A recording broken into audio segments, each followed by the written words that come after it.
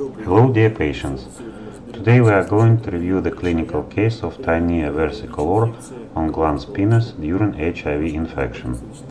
An HIV positive young man came to our clinic. He had periodic peeling of penis. He had a regular anal contact with a constant sexual partner.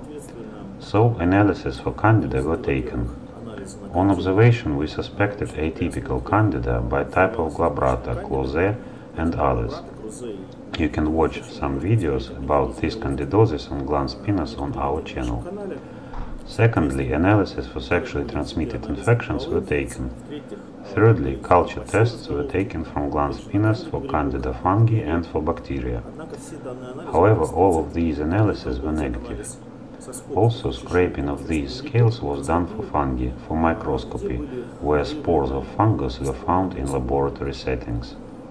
After that we took culture test for fungi in which Pityrosporum or Malassezia furfur fungus was found. This is its active form. You can also watch a separate video about an active form of Tinea versicolor on our channel. So for this patient a diagnosis of Tinea versicolor or glans was set. Tinea versicolor is a superficial form of fungus that affects quite superficial layers of skin itself and in normal settings I didn't meet such forms of fungus on glans penis in healthy people. However, if immunity is decreased, then we observed such a lesion. After a careful observation of partner, dark spots, rashes were found in the area of anus, and positive analysis of fungi were acquired from their surface. So this patient was infected with this fungus by contact with the skin. Classic treatment was used during tinea versicolor. Uh, these are tableted medications. In this case it was ketoconazole medication internally.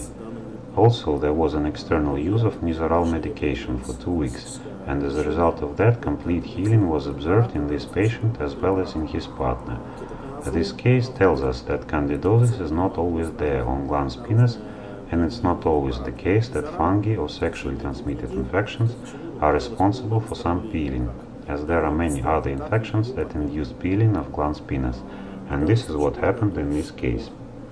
So before treating and lubricating with something, you have to always do analysis, otherwise if the person started to use clotrimazole, then he would turn this condition into a chronic stage, constantly being infected from a sexual partner, and no healing would have been achieved.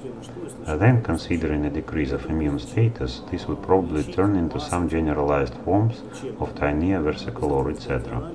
So analysis play quite an important role in diagnostics and treatment of different lesions of penis. If there are any rashes in the area of glans penis, in the area of penis, you can consult dermatovenerologists and urologists of our paid medical center of Dermatovenerologic dispensary in Moscow. We have experienced specialists who do diagnostics and treatment of such lesions.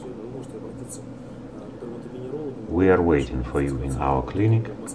Please subscribe to our channels on YouTube and Instagram. Thank you for your attention.